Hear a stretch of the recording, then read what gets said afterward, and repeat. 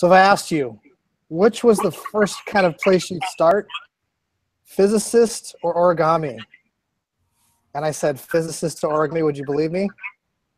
We'll stick around and hear from the Dr. Robert Lang. That's right, Scott. Today on our show, we have Dr. Robert Lang with us. He is an origami expert and he connects it to mathematics. And he is creating all kinds of uh, solutions for problems in our world through the art of folding. Is that right, Dr. Lang? That's a fair assumption. Pretty good description. Why don't you um, tell us a little bit about yourself? I do both, I do both art and solutions.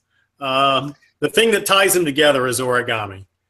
I've been folding origami for uh, nearly 50 years, ever since I was a kid. Got into it kind of the same way other kids probably do. You find some instructions, fold it because it's a fun thing to do, pass the time, way to make toys.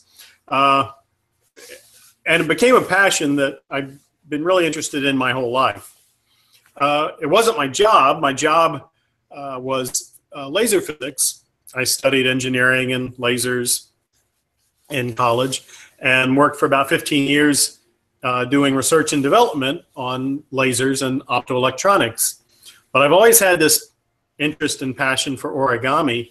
And pretty early in my technical career, I started trying to use the tools I'd learned in technology, math and, uh, and the like, to describe origami with the goal of helping me fold better art to create be able to create from paper the visions and objects that I wanted to create. And math helped me do that.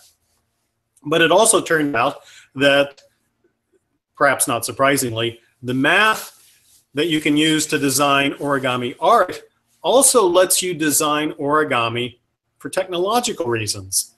Uh, making things that unfold and deploy, things like solar arrays, telescopes, uh, medical implants, packaging. And so about 16 years ago, I quit my job doing lasers to devote my life full time to origami.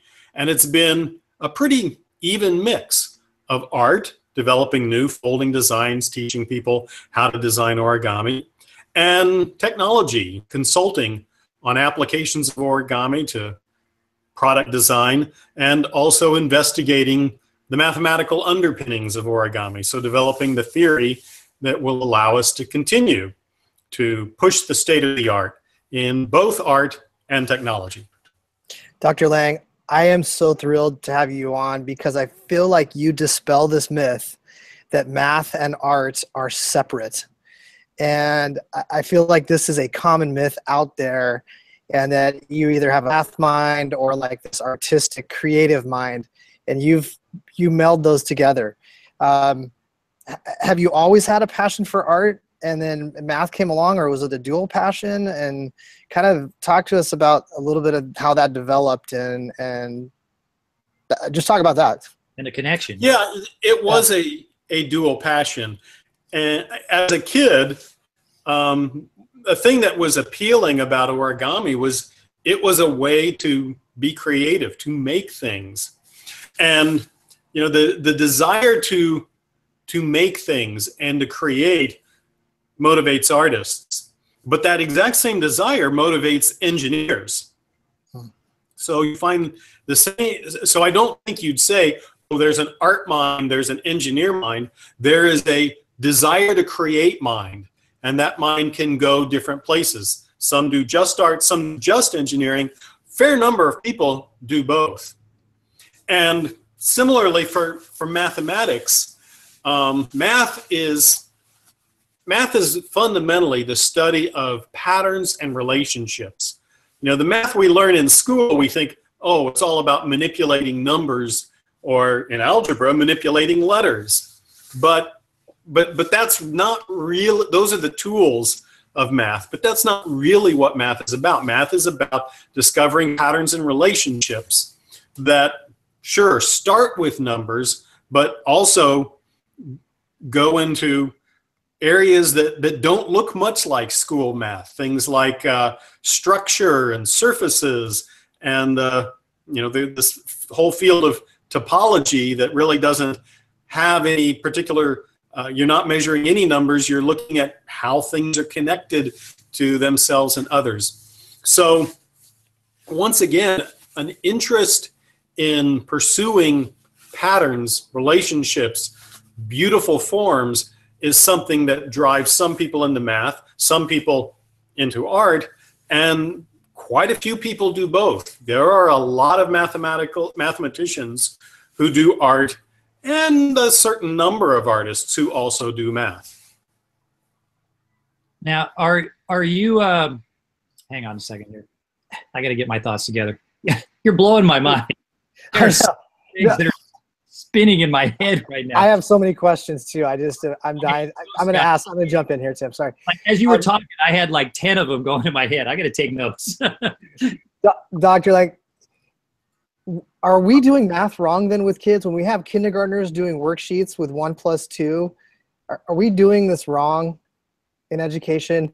Should we have them doing a lot more hands-on pattern connecting, uh, folding, cutting, whatever it might be that develops that perspective of identifying patterns rather than just these number, you know, algorithms? Well, I'd say there is plenty of room for improvement in mathematical education. We they do need you do need to learn the the, the basic tools. You know, you need to be able to do arithmetic, um, if only to, un, to be able to appreciate for deeper concepts about numbers. Um, so, I mean, we, we, you do need to learn the tools, but I think there is a lot more, there are a lot more ways that people can learn and be excited um, and be motivated. And we need to try more diverse learning strategies. Um, so for, for many kids, um, they a lot of kids need or benefit from having tangible references, uh, physical objects. You know, when we teach things like geometry and we draw lines on a chalkboard, um, some kids can get that. They can do the abstraction in their mind to understand you're not really telling them about chalk marks on a on a green surface or a you know, or I guess ink marks on a white surface, that there is a concept uh, behind that that all these lines on the board represent. We're trying to teach them about the concept. Some kids get it from that, some don't. But for some, by manipulating physical objects, um, might even be paper folding, that that that manipulation gives them a clearer idea of some of these concepts than uh, just making you know marks on a chalkboard or seeing lines printed in a book.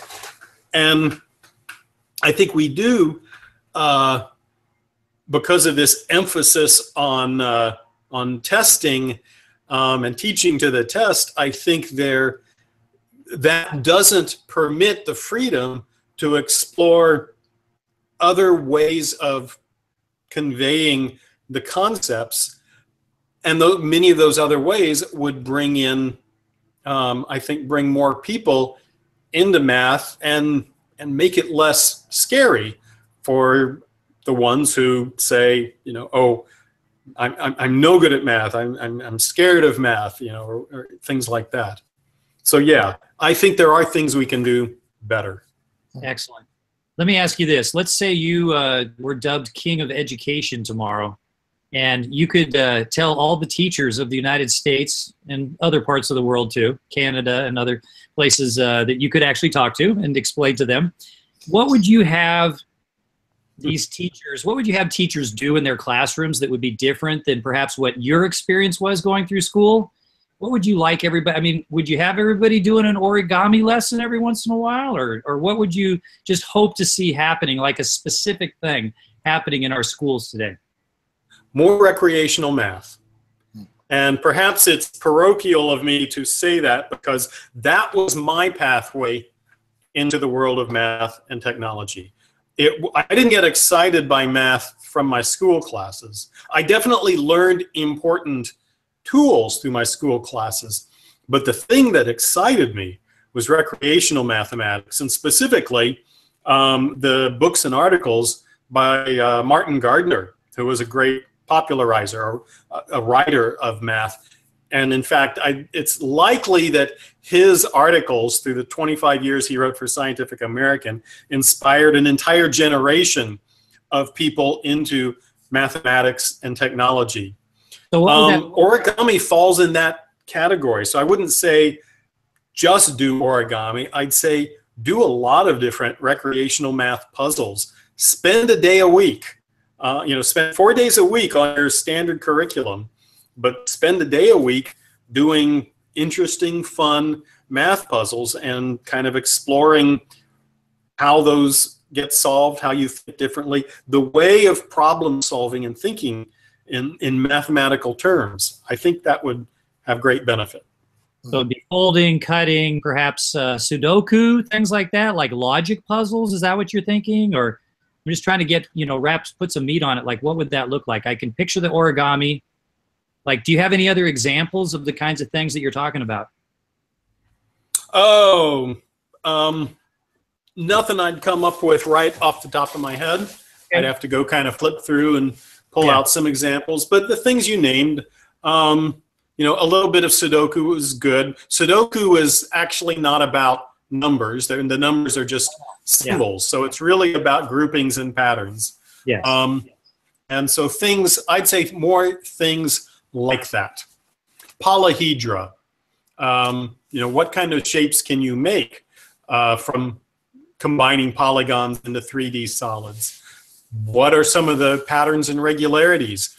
Are there relationships between the, the number of corners, the number of edges, the number of faces? Um, things like, uh, you know, uh, graph theory, which is a very mathematical field, has nothing to do with numbers, was initiated from a, a puzzle um, in the city of Königsberg.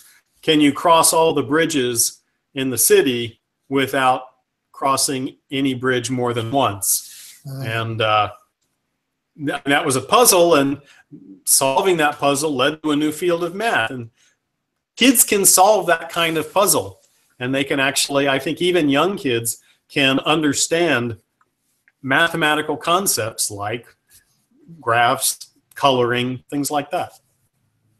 Yeah, that reminds me of Flow. Have you seen the, the iPad game Flow? No.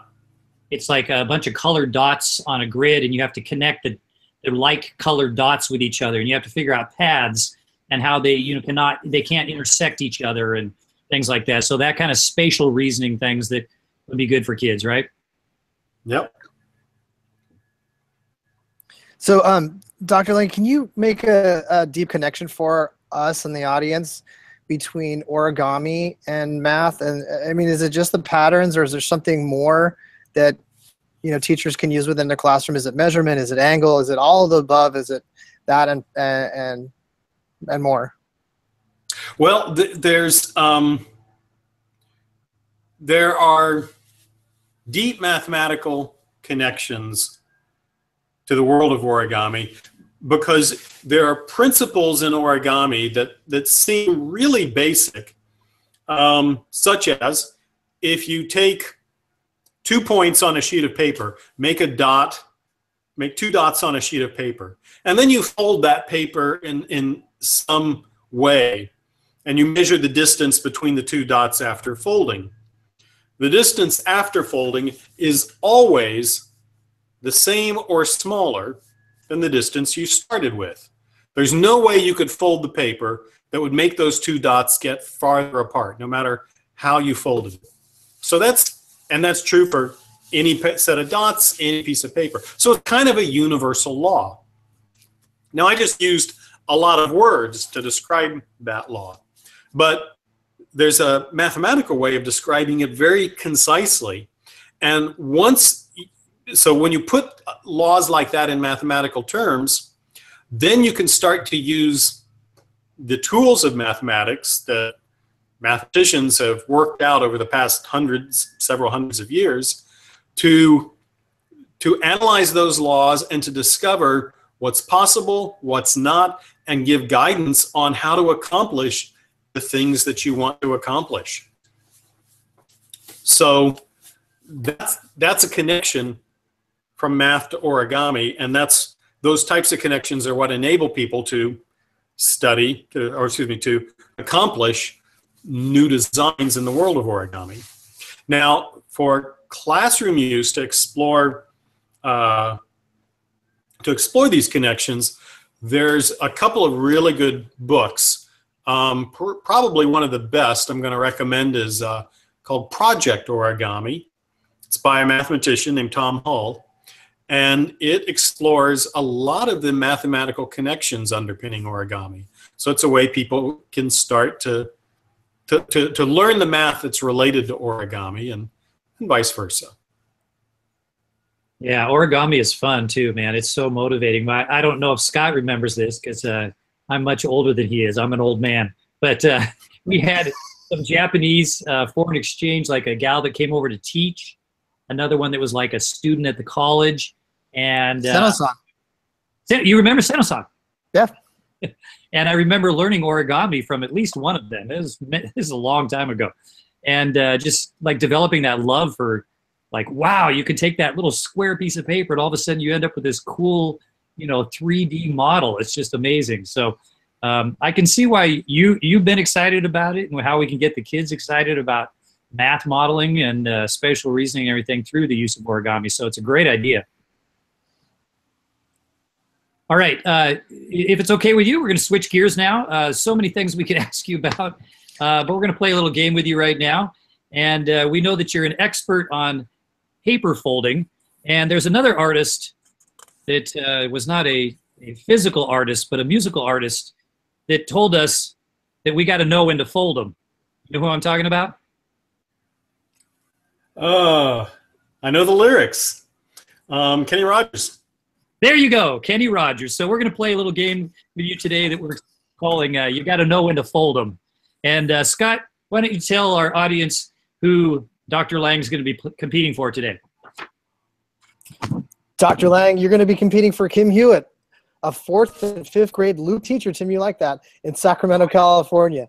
If you're able to answer two out of three questions correctly, Kim will be awarded a free download of an album by the ridiculously popular edgy rock band, Rockin' the Standards. So, right. Dr. Lang, are you, are you a Kenny Rogers fan by any chance? Not at all, but uh, I used to hear it on the radio. Yeah, me too. Me too. Not a big Kenny Rogers fan, but uh, he does know about folding. So I think uh, any even the Kenny Rogers fan would have to guess at these questions, Tim. That's for sure. All right, here we go with question number one. Kenny Rogers is, of course, best known for his singing fame, but before he was a singer, Kenny Rogers was actually a professional athlete. Did you know that? That's pretty nope. crazy. Which sport? Which sport did Kenny complete compete in? Is it A, golf, B, tennis, or C, baseball? So those are your three choices. Was he a professional golfer, tennis player, or baseball player? No idea. So I'm just going to go with baseball. Well, that would be a, a good guess, but unfortunately, it's wrong.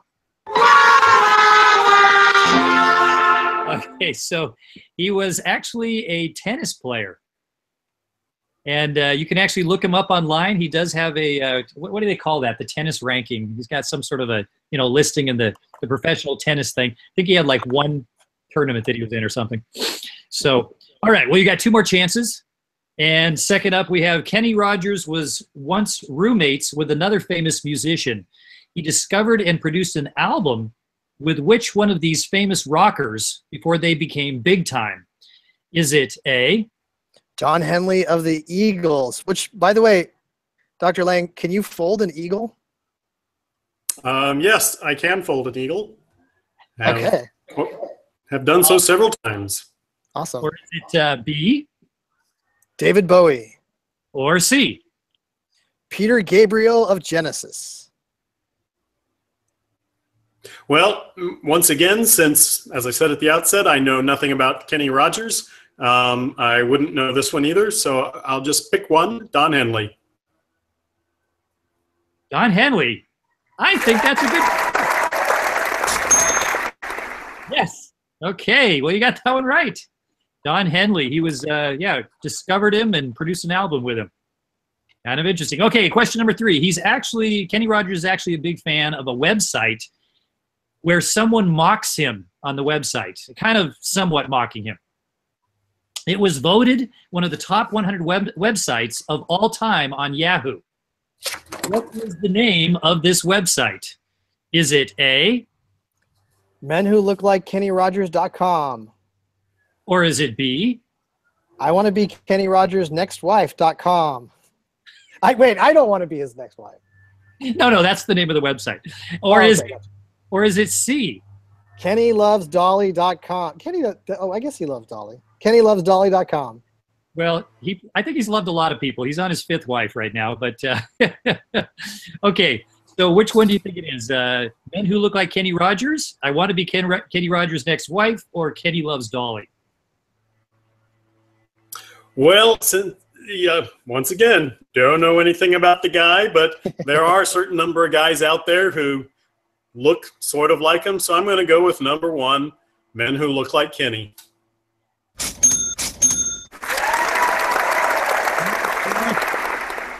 Good job. Yes, uh, there's actually a website called Men Who Look Like Kenny Rogers.com. I haven't been there myself. I don't know if you guys have ever gone to that website. I'm going to try to get on it someday. Are you going to try to look like him? Yeah, why not? He's a good looking man. So, uh, Scott, how did Robert do today? Dr. Lang, you got two out of three correct, which is good enough to be a winner. All right. Congratulations. No, Dr. Lang, you won absolutely nothing. But Kim, you just won a free download of Rockin' the Standards album, the educational rock and roll music for second through sixth graders.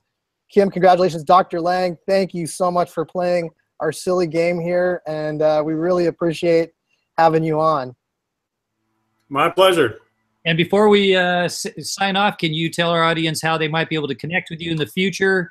Uh, buy books by you? Do you have a website? Do you, are you on social media, email, anything like that that they can follow up and learn more? Yeah, to, for the answer to almost all of those questions is go to my website, langorigami.com, or, um, and you'll see a whole slew of my artwork. Um, there's also a contact page to email me. I answer all emails, so uh, they're welcome to email and ask questions.